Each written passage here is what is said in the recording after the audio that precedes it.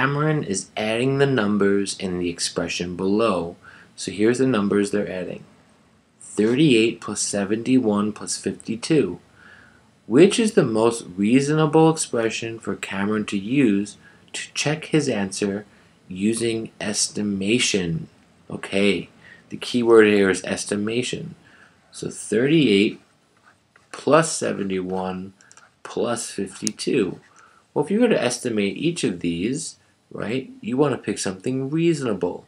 So for 38, if you think about that number, right, it's between 30 and 40. But here's the halfway point, right? That's 35. So 38 is like over here, really close to 40.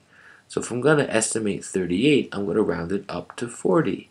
It's much closer to 40 than it is to 30. So I cancel out A and B. Rounding 38 down to 30 would be less reasonable than rounding it up to 40. 71 is between 70 and 80, right?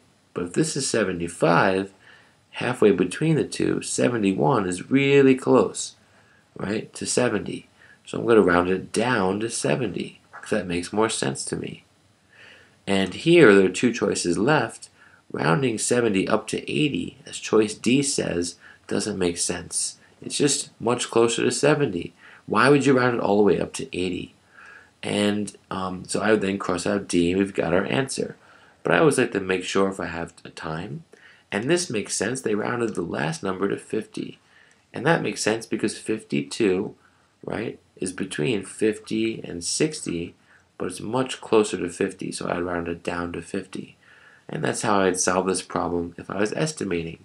And for fun, let's just add this up. 70 and 40, I think of 7 and 4. Same kind of thing, but 10 times bigger. 7 plus 4 is 11, but this is going to be 110 plus 50 is 160. So you could try that one out, add them up, see if you get 160 for practice. Thanks.